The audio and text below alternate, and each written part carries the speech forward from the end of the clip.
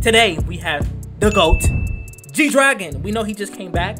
Let's show love and appreciate him for coming back. He also did a cover, a cover to this song called Can't Help Falling in Love. That is so crazy. I would never expect this in a million years for him to sing this. And I know he's gonna do it justice.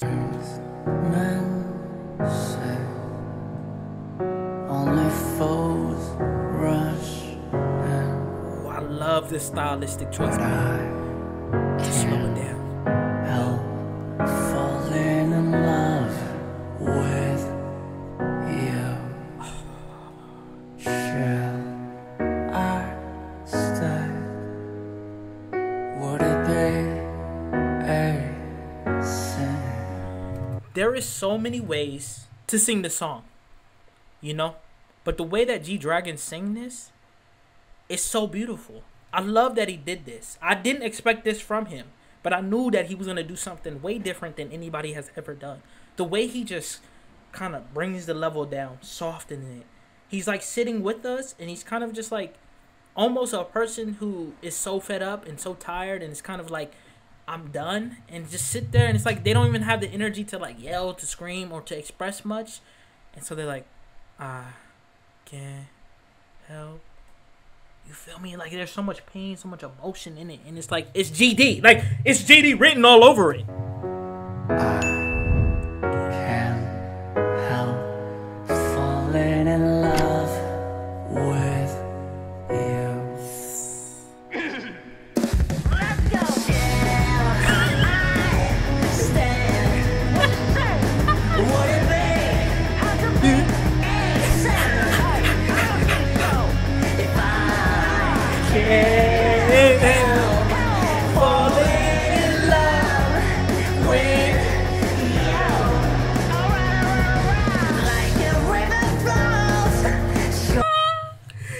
Look it.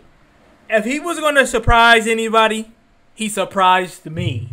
That was great. I was just talking about like I love how he started off just more painful, more more heartache, more like kind of sad and just kind of like done and kind of giving off that type of vibe. And then he switched it and went rock and roll on us. He switched it and gave us some upbeat. Come on.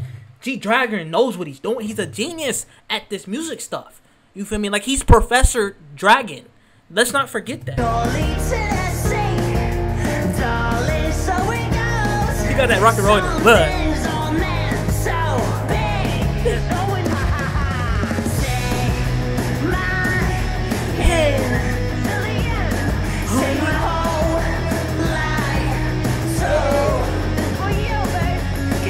I, want to see him perform this live. Oh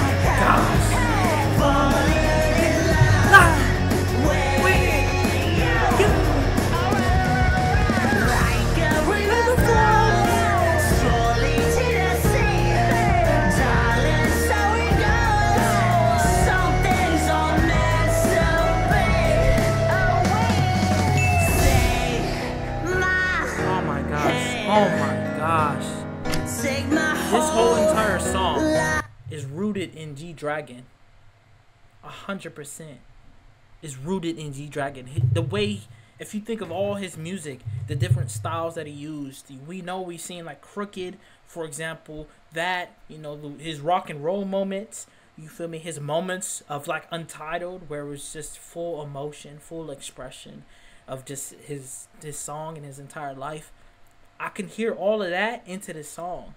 And I love it because like not only is this a classic song and I can hear it and, and be able to enjoy it, but I also could just enjoy the personality of G Dragon. And it's it's just incredible for him to do something like this. You feel me? Like for I can't help falling in love with you.